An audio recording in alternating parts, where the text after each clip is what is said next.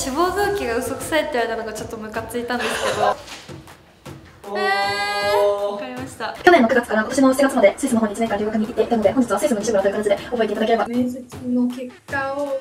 お聞きしてもよろしいですか？あと前回の面接はもうお願いします。えっと今日は第一志望の面接があるのでその前に内定者の方に面談していただくのとあと面接の準備をしようと思ってます。今日は大変そうですね。結構忙しい。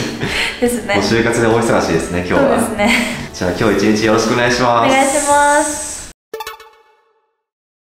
お願いします。ありがとうございます。今日人事面接なんですけど多分あのパーソナリティがすごく聞かれるっていうのを聞いていたので軸っていうところとあと志望理由と結構パーソナル面を聞いていただけたらなっていう強みとか弱みも聞いていただけたらなっていう感じです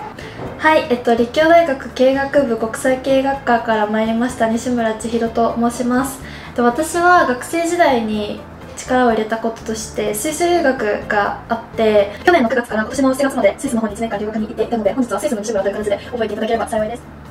ありがとうございました。失礼いたします。実はその月曜日今週の日曜日から毎日面接練習しててで日曜日は友達だったんですけど他の日はその内定者の方だったりとかあとは昨日は OB 訪問したんですね。でやっぱり皆さん8割ぐらいいいコメントくださるので、まあ、ちょっとポジティブにはなりました。じゃあ頑張ってこようと思います。今面接で言うことちょっとまとめようかなと思って。カフェに来ました。あちなみにどんな感じか見せてもらっていいあですか？はい。えっとこんな感じで全部私は Notion にまとめてて。でこれは内定者の方のフィードバックとあとこれが今日の面接の言うことでなんか基本的に面接人事面接で聞かれることみたいなのをなんかツイッターから引っ張ってきて準備したっていう感じですかね、ここに全部なんか将来像とかあとエントリーシートとか面接の準備とかしててだから今一緒にダイヤリーに出た時のフィードバック全部書いてて全部修正はしてないんですけど忘れないように全部どうして広告なのとか反省とか書いてます。すごい綺麗にまとめてありますね今就活はどんな感じですか？今はあと早期選考が始まってる広告業界の会社を中心に見ていて今広告業界1本で見ています。で結構ベンチャー中心で見ていてベンチャーの中でも結構大きめのところ見ててまあ年明けまでに内定がはないないんですけど、まあ、1月2月3月でどこももらえなかったらちょっとどこあ出すか？また考えようかなって思っててあの私すごい DNA の創始者の難波さんって方がすごい好きなんですけどなんかその人がなんか20代のファーストキャリアの選択は友達に自慢したりとか親を安心させる場所を選ぶんじゃなくて自分がその20代で成長できるところを選ぶべきだっていうところを言ってたのがすごい印象的だったのであんまり、まあ、お金とかも大切なんですけどあんまりそういうとこ見ないで会社の規模を問わずあで自分多分成長できるなっていうところを、まあ、見つけたいなって思ってます。しっかりなんかもう考えて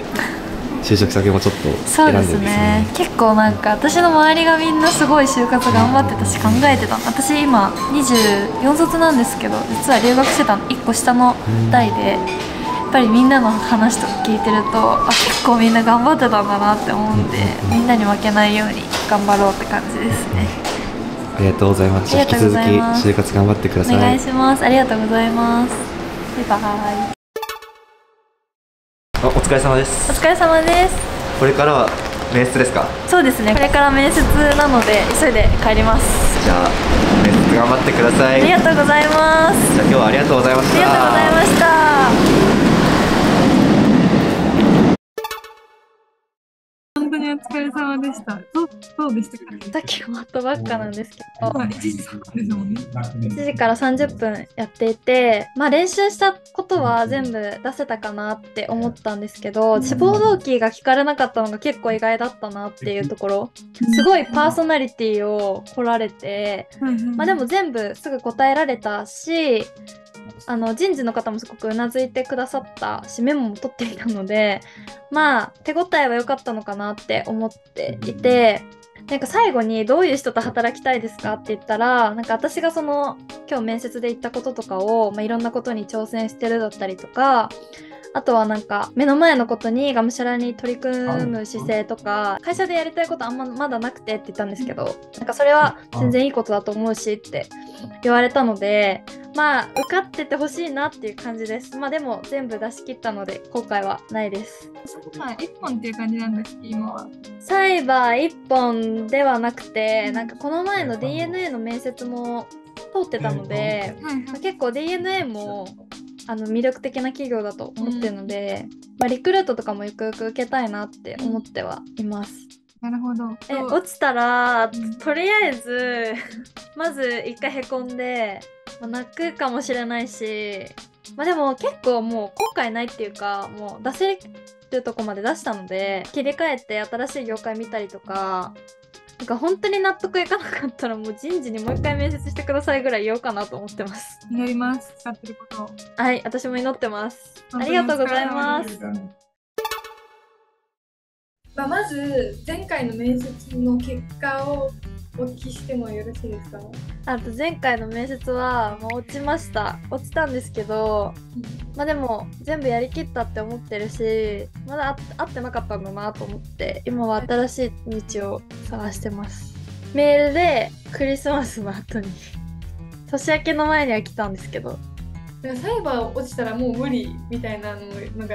西村さんが言ってたからなんか落ちちゃったらすごい心配だなっていやーやばいんですすよ本当に確かに。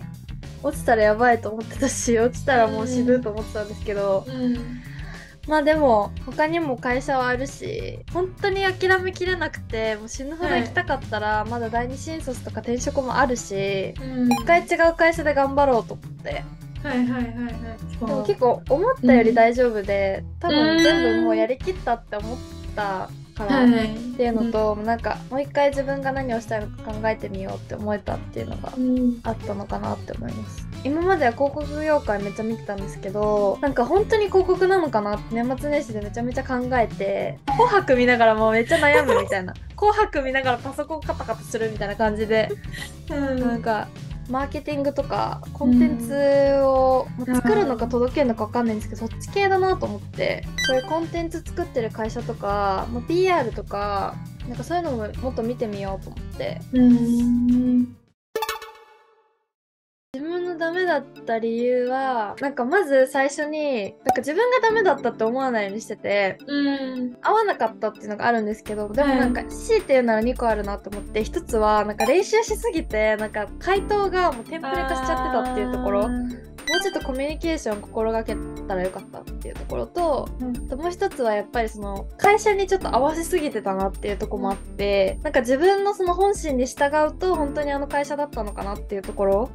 はありますね。結構やっぱり有名な企業に行きたいとかっていうのはあるんですか？確かにある程度の規模がある会社には行きたくてできれば上場してるとか、うん従業員が従業員が1000人以上いるとこがいいんですけど、どうしても有名なとこに行きたいっていうのはあんまりなくて納得感を持ってここだって思えるとこが一番いいなって思ってるっていう感じですかね。高橋さんどんな感じなんですか 就活？私もやってなくてまだ。やばいですよね普通に、まあ、同じ感じでコンテンツ系やりたいなって思いつつ、どこの業界企業行けばいいんだろうってわかんい。やわかんないですよね。私もわかんなかったも。んいや私ももう年末死ぬほど自分と向き合ってました。多分今人生で一番自分と向き合ってると思う。てか年末年始就活やってんのマジで。いやーも私も1年前それやってましたね。ずっと就活のこと考えてそれでや病んでましたういややめますよね。私はもう三が日めっちゃもう病んでてうん。でやっとなんか先輩に会って話聞いてもらってめっちゃ楽になって、今今できる最適解を考えようと思って、うん。いや今月の目標はとりあえず基礎を固めるっていうやっぱり。SPR の勉強とかもうちょっとしなきゃなって思ってるし。今月の最後とかにまた話したくてその時に私は4社にエントリーしてる状態就活ばっかにならないでちゃんと学生生活楽しめてること、おお本もっと読みたくてあと映画も年末見てすごいいいなって思ったんで、うんうんうん。バイトでちょっと気を紛らわしつつ今月旅行も行くんですけど、まあ、旅行とか行きながら目の前にあることも楽しみながら就活もするっていうこうん。感じですかね。あと軸を見つけとくっていうのが目標かもしれないです。おお、あ就活の軸みたいな感じ。うん。またあの今月末よろしくお願いします。はい。ちょっと待って知ってる？ダイアリーのサイトではその企業から内定をもらった先輩のリアルな面接動画が見放題。志望動機とか参考にできるじゃん。絶対にここでしか見られない。無料登録で今すぐ見てね。概要欄からチェック